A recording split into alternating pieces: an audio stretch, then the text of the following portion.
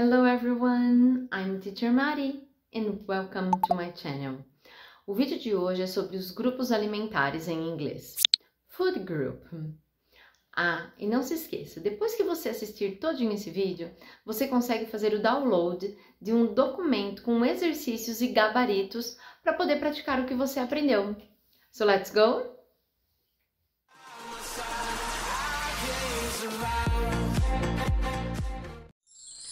Food Pyramid. Nesse vídeo nós vamos falar sobre a pirâmide alimentar em inglês, quais são os grupos alimentares, exemplos de alimentos e a importância de cada um deles. So let's go! Se você está aqui, deixe seu like, se inscreva se você não é inscrito e ative o sininho de notificação para ficar sabendo toda vez que eu postar um vídeo novo. Let's start it! A base da nossa pirâmide, nós temos o maior grupo, que é o Grain Group, o grupo dos grãos. Vamos ver alguns examples of grains. Cereal, rice, bread, pasta, que é massa em geral. Nesse grupo, nós também temos os whole grains, que são os grãos integrais. Eles são mais saudáveis do que os grãos da farinha de trigo branca, ok? Let's see some examples. We have the brown rice, whole wheat pasta and whole wheat bread. Esses são só alguns exemplos. Toda vez que vocês verem a palavra whole wheat, significa que é feito de grãos integrais. Agora, let's see the fruit and vegetable group, que é o grupo das frutas e dos vegetais. Some examples of fruits: strawberry, banana, papaya, and apple. Now, examples of vegetables we have broccoli, carrot, French beans, que seria vagem, and pumpkin. Okay, now we have the fish, poultry and eggs. Peixe, aves, que seria o lean meat, que nós chamamos em inglês, que seria a carne magra, que é a carne mais saudável. E os ovos. Examples of fish are salmon and shrimp. Now, poultry. We have chicken and turkey, que é frango e peru. And eggs, ovos. Mas também faz parte desse grupo as nuts, nozes, and beans, feijão. Ok? Now, let's go to the dairy. É todo o alimento que vem do leite, inclusive o próprio leite, milk. Cheese.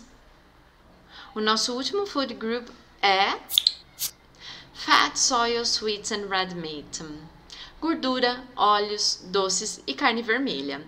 The examples we have butter, oil, candies, ice cream, soft drinks and red meat. Então, agora que nós já vimos quais são os grupos alimentares, exemplos de alimentos de cada grupo, nós vamos descobrir para que, que serve cada grupo alimentar. Ou seja, why is food important? Então, se nós consumirmos algo, algum alimento deste grupo, fats, oils, sweets and red meat, um, we are eating calories that gives us energy to play, to study, but if we eat too much of this group, we may have health problems. Então, basicamente, nós consumimos a caloria que nos dá energia para fazermos nossas atividades, só que se a gente come demais ou não gasta essa energia, nós podemos ter problemas de saúde. Por isso, use sparingly. Temos que comer com moderação alimentos desse grupo. Now let's see dairy. Dairy, they provide calcium, which keeps our bones and teeth healthy. Então, com os laticínios, nós consumimos o cálcio que ajuda a manter nossos ossos e dentes saudáveis. And we have to eat 2 to 3 servings a day, de duas a três porções por dia. Now in the group of fish, poultry and eggs, they provide proteins and iron, which help repair and build our muscles. Então a proteína e o ferro é responsável pelo, pela saúde dos nossos músculos. And 2 to 3 servings a day as well. Também podemos consumir de duas a três porções por dia. Now fruits and vegetables, um, they provide vitamins, minerals and fiber that keeps us healthy and is also good for digestion. Então, as vitaminas, os minerais e as fibras encontradas nas frutas e nos vegetais ajudam na digestão e a nos manter saudáveis. Por isso, 3 to 5 servings a day, de 3 a 5 porções por dia. E agora nosso último grupo, grains. They provide carbohydrates and fiber, which is good for the energy and digestion. Então, os carboidratos e as fibras são ótimos para nos dar energia e ótimos para a digestão.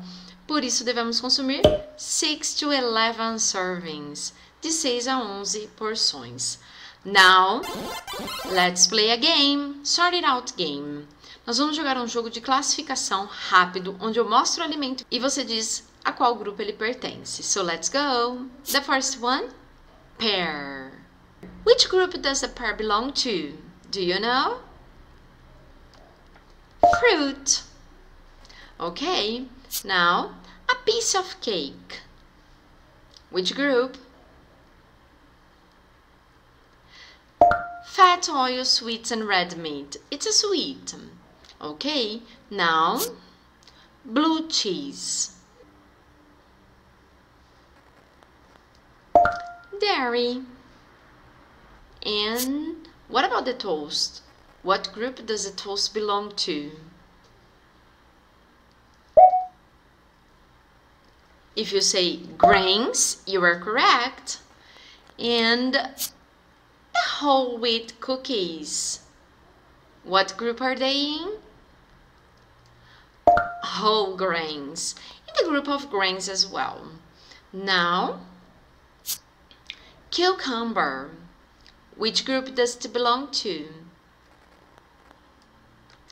Vegetables. Vegetables. And tuna.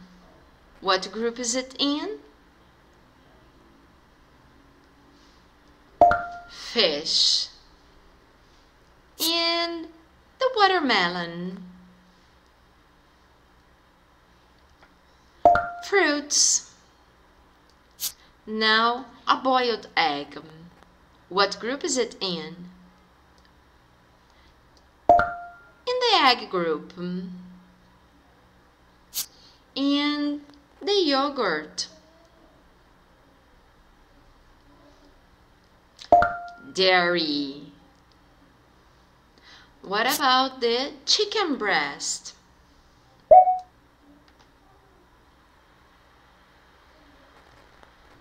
It's a poultry. And now, the beetroot. It's sweet, but it's not a sweet, okay? It's a vegetable. And, oh, I love it. What about the chocolate? It's a sweet. And the last one is spaghetti. Which group is the spaghetti in?